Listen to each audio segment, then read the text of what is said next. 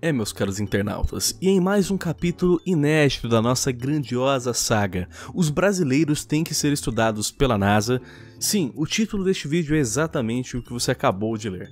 Acreditem ou não, mas um hacker brasileiro conseguiu fazer com que Minecraft rodasse diretamente da página do STF. E não é tipo uma questão tipo live stream, não é que nem um videozinho. Não, era você acessava o link do STF, o Supremo Tribunal Federal brasileiro, e você podia jogar Minecraft. Mano, eu não sei se esse cara é tipo um puta de um hacker maravilhoso, eu não sei se, se esse cara tá protestando, e eu não sei qual que, qual que é o geral disso daqui. Eu só sei que, honestamente, ele tá fazendo um belo de um favor pra gente, porque, porra, minezão de graça sim, entrando no site do governo, porra, assim, assim, eu fico até surpreso, né, com, com uma doação dessas. Galera, que falou que vocês é o Laia da Central. Agora a gente vai passar para vocês todas as informações dessa notícia mais que bizarra que tá acontecendo, é claro, na Ruelândia. Tá acontecendo no nosso queridíssimo Brasil, né, meu caro? Cara, incrível, velho. Já pensou assim, você, num certo dia, acorda e pensa: vou entrar no site do STF para ver se eu levei um processo de alguém. Né? Vou procurar um processo aqui e você se depara com Minecraft no site. Você fala, nossa, isso aqui é o Clique Jogos? Eu entrei no site errado? Será que o governo está dando Minecraft pra galera porque a gente paga muito imposto? Não sei, velho, mas eu só sei que isso aconteceu no Brasil e é incrível, velho. Não, maravilhoso, velho. Eu fico imaginando a reação do Pablo Castro, o quase advogado do YouTube. Pensa ele, mano. Tipo, porra, mano, tô aqui pegando um caso, tô estudando um caso, vou entrar no STF aqui. Ele abre o site do STF, Minecraft. tem um Minezeira, mano. Um Minezeira open assim. Porra, que. É pra, é pra, é pra você tá construir o fórum, entendeu? Você constrói ali no Minecraft. Você é, maravilhoso. Maravilhoso. Olha, galera, essa notícia aqui hoje tá fantástica, vai pra lista de bizarros, mas ó, antes de mais nada, eu só convido você que está assistindo este vídeo a se inscrever aqui na central, clicar no sininho de notificações, assim você não perde nenhuma novidade. A gente posta dois vídeos por dia, um ao meio-dia, outro às sete da noite, então clica no sininho pra não perder nada. E galera, olha só que fantástico, a gente tem o hacker brasileiro Arthur Carrinho, ele que é um pesquisador e universitário do Centro Universitário Municipal de Franca. Ele já fez alguns ataques hackers no passado, a gente vai até passar para vocês depois, mas o trabalho mais recente dele aqui foi realmente maravilhoso. Olha só, ele conseguiu disponibilizar Minecraft rodando diretamente dos servidores do website do Supremo Tribunal Federal aqui do nosso país. Ele escancarou uma vulnerabilidade do site oficial da Corte Brasileira, disponibilizando uma das primeiras versões do jogo estava acontecendo é que o Arthur estava, entre aspas, só treinando quando ele encontrou uma brecha séria no site do STF lá em maio de 2019. Então o que aconteceu foi que ano passado ele descobriu essa brecha e reportou essa brecha. Ele conseguiu entrar em contato com a galera e falou: galera, tem uma brecha perigosíssima aqui, vocês têm que consertar isso. Isso foi ano passado. Aí chegou agora, maio, junho 2020, um ano depois, ninguém no STF é, fez alguma pica. coisa. Ninguém responsável pela segurança desse website se movimentou. Então o que, que ele fez? Já que os caras estão cagando para isso, né? Ele fez esse, esse, esse, esse incrível movimento. Né? Já que teve um ano que não foi corrigida essa vulnerabilidade, ele brincou com a condição da página e injetou um XSS. Esse que é um tipo de vulnerabilidade rudimentar que permite enviar um usuário para uma página do mesmo domínio, mas que pertence ao atacante. É tipo, tipo, é, você clica num link, esse link que eu modifiquei, e ele manda para uma página do servidor do STF, só que eu controlo. E eu posso fazer tipo uma cópia perfeita do website do STF, você nem vai perceber. Mas ao você colocar as suas informações nessa minha página, eu vou estar roubando as suas informações sem você saber. E é por isso que é tão perigoso, né, essa vulnerabilidade. Cara, eu acho que ele conseguiu hackear isso, ele conseguiu injetar, né, da melhor maneira possível. Porque ele disse que eu encontrei a página e percebi que parecia antiga. Pensei em injetar o XSS e funcionou eu decidi fazer uma brincadeira devido à situação atual para chamar atenção para que a vulnerabilidade seja corrigida. Então, olha só que legal, galera. Ao invés do cara se aproveitar disso, roubar informações de pessoas poderosas, de pessoas do meio do STF, o cara simplesmente foi lá e botou um Minezeira em símbolo de protesto para os responsáveis melhorarem a segurança do, do site do governo. Cara, se isso daqui não é um puta de um tapa na cara maravilhoso do, do, do, dos responsáveis da segurança desses websites do governo, eu não sei o que é. Eu Exato. só sei que maravilhoso, cara, maravilhoso. E disponibilizou Minezeira de graça pra galera. Assim não dá, né? Assim não dá. Ah, eu, eu, sabia que Minecraft é um jogo extremamente leve. Eu sei que ele roda em qualquer computador, na calculadora, na minha geladeira. Mas assim, eu não sabia que rodava no site do STF, né? mas, mas agora eu tô sabendo. E eu achei também incrível é. que ele foi tão criativo né, que para as pessoas encontrarem mais fácil o Minecraft do STF, ele botou o nome do jogo, ó. Você vê lá em cima na foto que tem, ó, STF Craft. Ou seja, é uma nova é uma nova DLC ah. feita pela Mojang que não foi anunciada ainda. Ele tá fazendo ali uma beta, ele tá testando a beta ali, né? Maravilhoso. Então, assim, cara, o, o cara é genial. Ele não merecia, né? Quer dizer, a gente não sabe se vai acontecer alguma coisa com ele, mas ele não merece ser preso.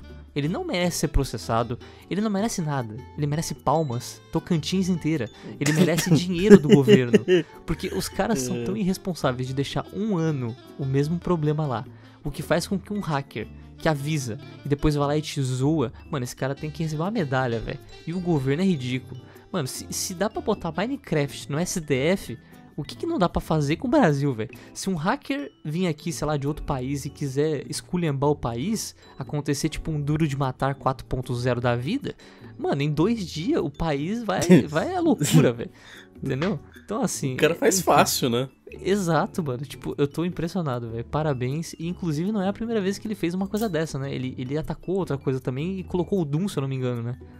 Exato. Olha só, pra você ter uma noção, em junho do ano passado, o Arthur executou um feito mais difícil ainda ele conseguiu invadir os servidores do Bank of America, esse que é a segunda maior holding de bancos dos Estados Unidos. E ele conseguiu injetar um XSS do jogo Doom. Então a galera que entrava no site do Bank of America tava jogando Doom, cara. Maravilhoso. O cara, o cara tem grandes bolas. Porque além dele invadir websites de grandes bancos americanos, também tá invadindo agora site do governo do STF. Assim, isso daqui é, deixa bem claro, né? Como tá rudimentar a segurança online do, do, nosso país. Como se falou, mano, se realmente der, rolar aí um, um, Bruce Willis, um duro de matar, fodeu, entendeu? Os caras vão, vão acabar com o nosso país fácil, fácil.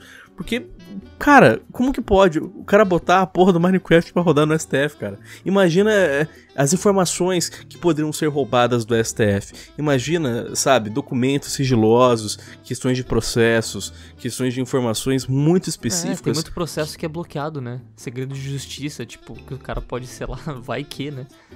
Mano, a gente tá falando da porra do Supremo Tribunal Federal, velho. E essa falha aí gravíssima tá aí há um, um ano. Então, galera, para vocês verem o nível do descaso que a gente tem com a internet brasileira, uh, até mesmo em questão de segurança. E, e, é bizarro porque, como você mesmo falou, a gente espera que ele não seja processado, que ele não seja punido por nada, porque apesar dele ter invadido, apesar dele ter hackeado a porra do site, zoeira, ele fez né? isso ele fez isso por zoeira, mas o mais importante, para advertir todo, todo mundo de que a porra do website tava com esse, essa brecha. Estava com essa brecha de segurança para o quê? Pra galera do STF responsável arrumar essa porra. Então, assim, ele poderia ter é, roubado informações, mas ele não fez isso. Ele só literalmente, sei lá, mano, denunciou o que estava acontecendo de uma maneira muito criativa, né? E. Ele e não é ganhou dinheiro com isso, nada, né? A, a, até porque, tipo, isso é crime. Lógico, você invadir qualquer coisa é crime. Ele pode ser enquadrado nisso, mas, porra, pelo amor de Deus, o cara tava avisando vocês, velho.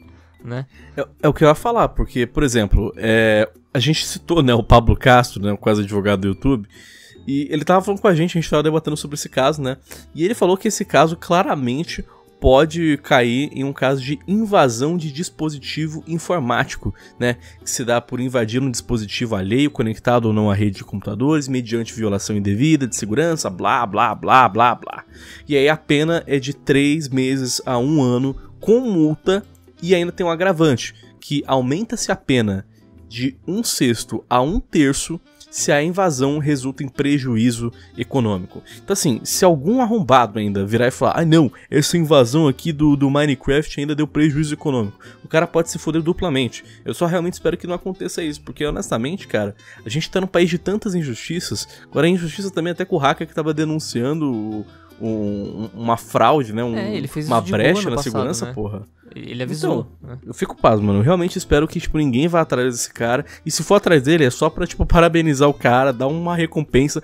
Mano, contratem esse, esse, esse cidadão, velho. Contratem esse arrombado, pelo amor de Deus. Esse arrombado tá conseguindo encontrar tanta brecha, velho. Ele pode ser de grande utilidade para vocês. Então, por favor, eu realmente espero que ninguém processe esse cara, porque esse cara não merece ser processado. Esse cara merece o quê? Ser contratado, ser utilizado para expor diversas brechas. Porque, como, como você mesmo falou, cara. Bota como ministro. É, é, é. Quê? Bota como ministro da segurança.